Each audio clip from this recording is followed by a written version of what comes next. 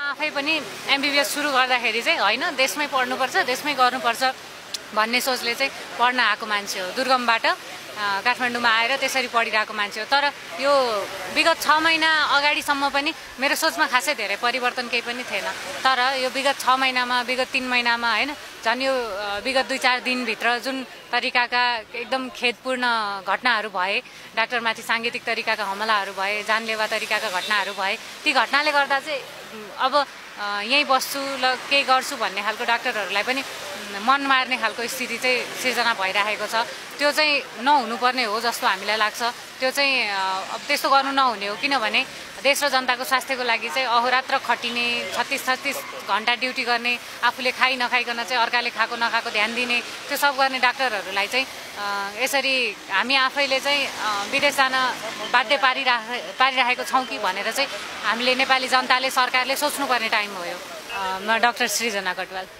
हामीले पढ्यो यतिका वर्ष लगानी गर्यो त्यसपछि अब धेरै जसो त वर्षमा हजार दुई हजार मान्छे डक्टरहरू त विदेश जानुहुन्छ नै तर जो चाहिँ जानुभएको छैन त्यो चाहिँ नेपालमै बसेर केही गरौँ?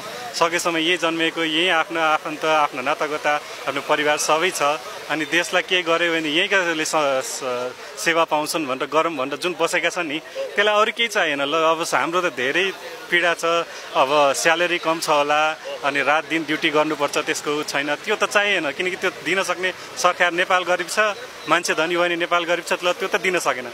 तर एटलिस्ट बेसिक त चाहियो नि। सेक्युरिटी भनेको त के हामीले यो माग्दै हिँड्दै सडकमा आन्दोलन गरेर माग्नुपर्ने कुरा त होइन नि त।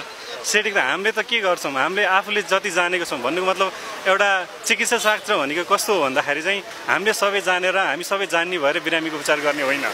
एउटा मेडिकल साइन्स भन्ने हुन्छ जसले चाहिँ कुराहरू विज्ञानले पत्ता लगाउँछ।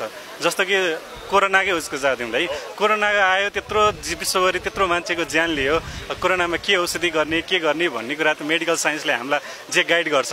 ल है हामीले यस्तो पत्ता लगाएको छ त्यही फलो गर्ने त्यो फलो गरेर बिरामीलाई सन्चो गराउने हो। त्यही गर्दा गर्दै कहिलेकाहीँ त्यो हुन्न किनकि मेडिकल साइन्सले सबैको गरेर नदिएको हुनसक्छ। त्यो गर्दा कसैको मृत्यु हुन्छ।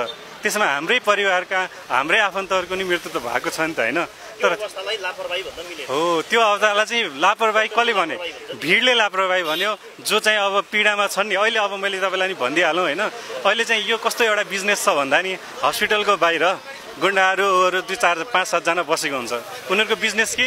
जब चाहिँ त्यहाँनिर एकजना अब त्यहाँ त बिरामी पार्टीहरू पीडामा हुन्छ नि अभियस होइन? कसैको आफ्नो कोही मान्छे भऱ्यो भने अभियस पीडामा भएर बसेको हुन्छ उसित जान्छ। उसले घर के हुन्छ? हेर्नुहोस् तपाईँको उमारे चाहिँ यो डक्टरले पहिला पनि यस्तो गराएको थियो। यसलाई फर्काउँ यसलाई पिटौँ होइन? यसै त हामीले पन्ध्र लाखको लागि डिल गरौँ होइन? पाँच लाख म लिन्छु दस लाख तपाईँलाई होइन? त्यो भनेर डिल गर्नेको जम्मा त्यो छ। मेरो विजय राईमाझी दर्शकवृन्द हामीसँग डाक्टर निकोलस भुषाल हुनुहुन्छ। डाक्टर साहब नमस्ते। धन्यवाद हजुरलाई एकदम धेरै। फेरि सडकमा आउनुपर्ने स्थिति आयो नि त। एकदमै दुःख लागेको छ सर सडकमा आउनु पर्दा तपाईँहरू दोस्रो दिनमा हुनुहुन्छ आज र पनि के छ? सम्बन्धित निकायले तपाईँहरूसँग केही कुरा भएको छैन? छैन सर उहाँहरूलाई त्यति साह्रो मतलब भयो जस्तो लागेको छैन। हाम्रो आन्दोलन अझै अझै तताउने सोचमा छौँ सर। अहिले तपाईँहरूको के छ? यो काठमाडौँ केन्द्रित छ कि देशभरिका चिकित्सकहरू अहिले आन्दोलनमा आएका छन्? के छ? अहिले काठमाडौँमा काठमाडौँमै गरिराख्नु पोखरा गएले पोखरामै गरिराख्नु भएको छ चितवन गएले चितवनमै गरिराख्नु भएको छ भैरव गएले भैरवामै गरिराख्नु भएको छ।